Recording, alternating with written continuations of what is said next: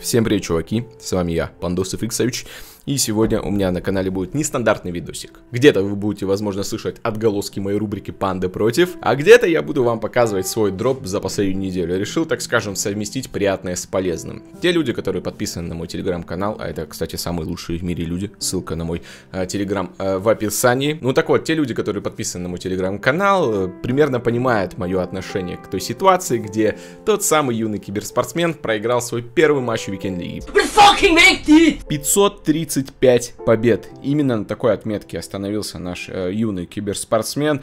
И забавно получается, что после своего каждого рекорда он обновлял свой инстаграм практически в ту же секунду.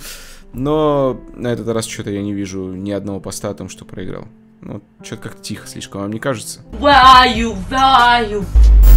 Ребята, сегодня вечером Лига Чемпионов возвращается. Барселона будет играть против ПСЖ. Я думаю, что все любители футбола в любом случае будут смотреть этот матч. А если вы хотите придать интереса к этому самому матчу, вы можете посетить сайт моих спонсоров OneX. Ссылочка будет по закрепленному комментарию, или вы можете просто перейти по моему QR-коду. А если вы хотите купить монеточки, то мой личный сайт PandaCoin к вашим услугам. Ну и собственно, как же проиграл наш чемпион Андерс Вержган. Верж... Короче, блядь, просто пиздюк из Дании. На самом деле, кто не знает, он уже давненько является супер-пупер кибером, даже вот в таком возрасте, я не знаю, 5-6 лет, он тогда уже всех рвал металл, знал какие-то вещи, о которых не знаем мы, но тогда он вроде как не стримил. И вот как он начал стримить, как бы все начали понимать, что с этим челиком что-то не так. Слишком уж дохуя он токсичный. Да-да, это то, э, с чем лично у меня ассоциируется этот парень. Вот есть скромные чемпионы, ну, к примеру, к примеру. А примеров-то, к слову, у меня нет. Реально, я поймался на мысли, что все киберспортсмены какие-то ЧСВшные и выебистые люди. Серьезно. Вот есть э, киберспортсмены, которые чуть выебываются. Есть киберспортсмены, ну, чуть выше среднего. А есть, блядь, пиздюк из Дании, который, блядь, шикает, блядь, там вот эту хуйню делает, празднует, бля, повторы все смотрят. Это реально самый настоящий токсик.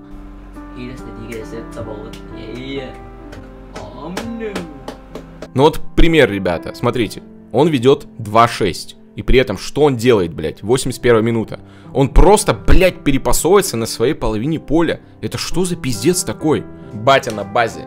Я охуенный я могу себе это позволить. Все равно ты ничего мне сделать не можешь. А вот что ты мне сделаешь? Я киберспортсмен, да. Я выебал тебя 6-2. Ты пытаешься забить, а вот хуй тебе, я буду пасоваться назад. Про всякие вот эти вот э, шикания и всякие вот токсичные празднования, я думаю, вам и так уже известно, то, что он все повторы смотрит, все паузы отжимает, хейтеров нахуй посылает.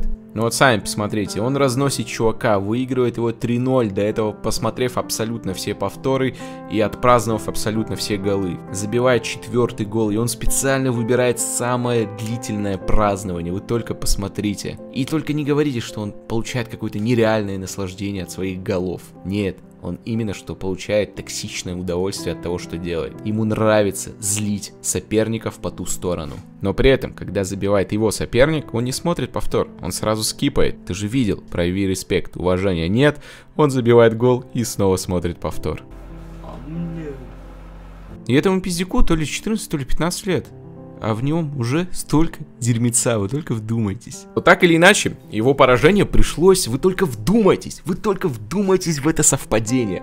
Пришлось на тот момент, когда я зашел на стрим. До этого я уже не помню, когда последний раз я его смотрел, вот как-то зашел и практически сразу попал на этот матч. Вот буквально следующий матч был именно вот этим проигрышным. Я лично наблюдал, как э, онлайн у него с 15 тысяч взлетел до 80. Я просто охреневал. Да, в принципе, как и все 80 тысяч, которые смотрели на это шоу. Ну и что-то ему как-то не очень весело было после этого матча. Реально, не спиздеть, он часа полтора-два сидел такой, бля, бля, бля, бля. Что, блядь? Где твоя вот эта хуйня? Где шиканье? Где, блядь, ваю, ваю? Где эта вся хуйня, чувак? Чё ты сидишь там пальчики свои, блядь, трешь? Ну, чувак, карма существует. Так или иначе, я рад, что наконец-таки проебал. Ясное дело, что его рекорд никогда никто не побьет.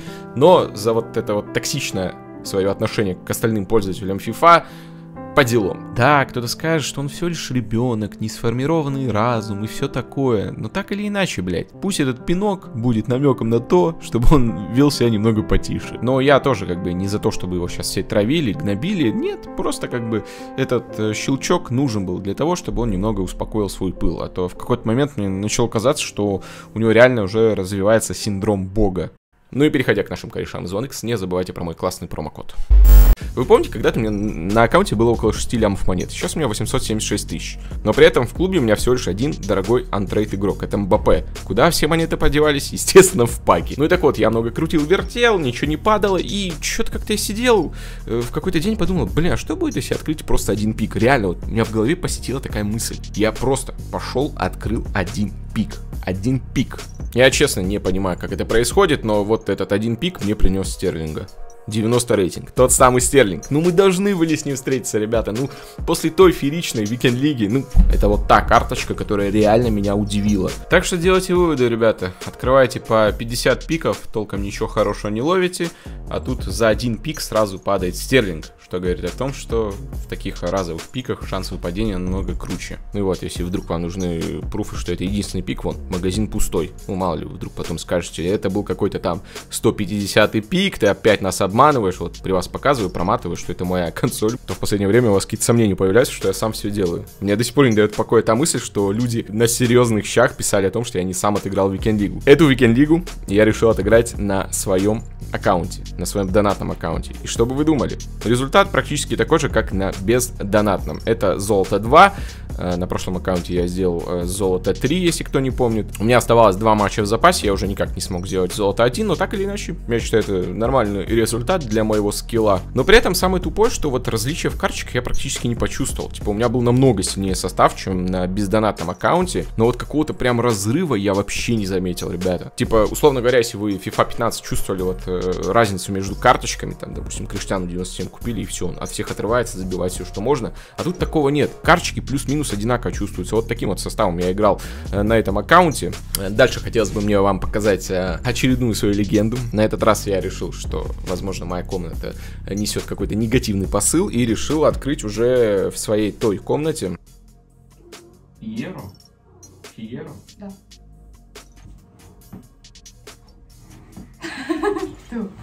Ну, стоит ли мне еще что-то говорить? Фернандо Иера.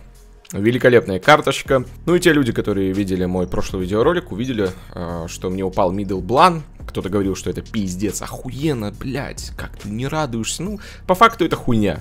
Ну, типа, вот я поиграл за него и не почувствовал никакой имбовости. 22 матча дали мне понять, что это срань, а не карточка. Тот же условный Варан мне нравится больше, чем Блан. Тем более, блядь, его э, middle карточка стоит на секундочку, дешевле, чем его бэйби карточка, которая до этого у меня уже была. Ну, прикиньте, какой подъеб от eSports у меня. На этом, ребята, я заканчиваю свое похождение за кумиром, мне хватит уже свой бюджет сливать, поэтому с этого времени я буду собирать лишь средние сборки, ну и какие-нибудь там, я не знаю, Optimus Prime, когда выйдут, тогда подумаем, а пока все, завязываем. Ну и под концовочку, ребят. Один из наборов, такая вот солянка получается из всего-всего, если вам нравятся подобные ролики, то лично они мне тоже нравятся, поэтому жду от вас лайкусики и комментарии. В последнее время, как Герман Эль Классико стал, да, слишком много комментариев и лайков у вас прошу. Но что вам стоит? Это просто займет у вас э, пару секунд своего времени, а для меня будет приятно почитать какой-то фидбэк и посмотреть на вашу активность. Ну а если вы досмотрели ролик до этого момента, попрошу вас сделать одну штуку. Отписаться от моего канала и подписаться заново. И включить этот долбанный колокольчик. Так, тем временем я открываю новые паки 81+. Не знаю, насколько они хороши, но пока у меня нет волкаутов.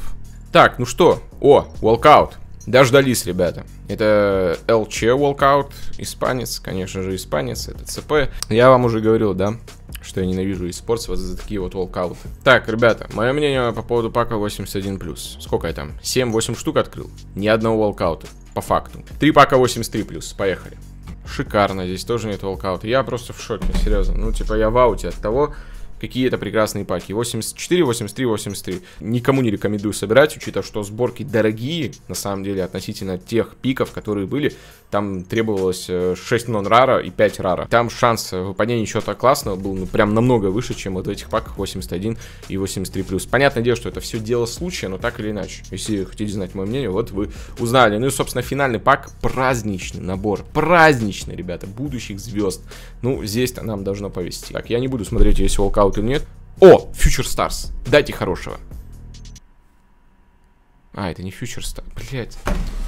Какая-то хуйня, не игра, ребята. Ну, бля, ну плохо. Ну, мне плохо видеть такие волкауты, бля. 100 тысяч потратил на это. На этот пак. Как я ненавижу голкипера в этой игре. Я считаю, что голкиперов нужно запретить в этой игре.